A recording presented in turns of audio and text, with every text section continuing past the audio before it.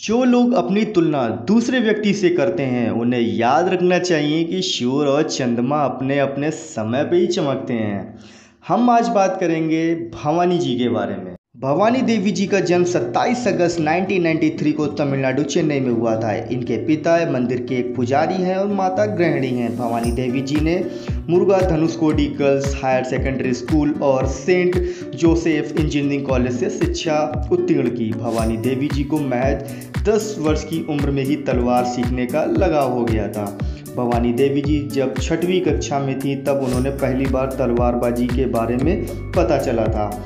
भवानी देवी जी ने शुरुआत में तलवारबाजी में दिलचस्पी के तौर पर सीखना शुरू कर दिया, लेकिन बाद में यह उनका जुनून बन गया और उन्होंने इसी में अपना कैरियर ढूँढने का निर्णय कर लिया था। हायर सेकेंडरी परीक्षा के बाद भवानी देवी जी ने तलवारबाजी के गुण सीखने के लिए केरल के थालासेस्ट्री में sports authority of India SAI में दाखिला लिया। यह भारत के उन गिने चुने संस्थान जहाँ पे तलवारबाजी का प्रशिक्षण दिया जाता है। भवानी देवी को अपने पहले अंतर्राष्ट्रीय मैच में तीन मिनट की देरी के कारण ब्लैक कार्ड दिखाया गया था। तलवारबाजी में ब्लैक कार्ड का मतलब टूर्नामेंट से निष्कासन होता है।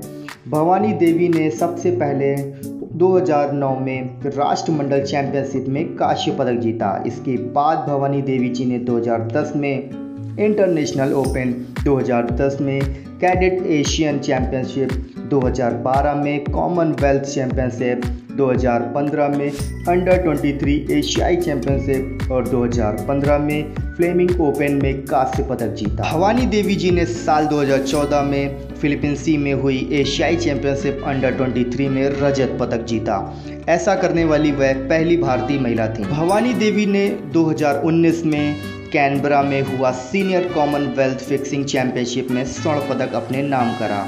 भवानी देवी जी ने 14 मार्च 2021 में टोक्यो ओलंपिक के लिए क्वालिफाई किया। उनसे पहले कोई भी भारतीय आज तक ओलंपिक में क्वालिफाई नहीं कर पाया है, ना महिला, ना पुरुष। हम इनके उज्जवल भविष्य की कामना करते हैं और बहुत बहुत शुभकामनाएँ देते हैं। अगर आपको हमारी वीडियो अच्छी लगी हो तो please like comment and subscribe Thank you.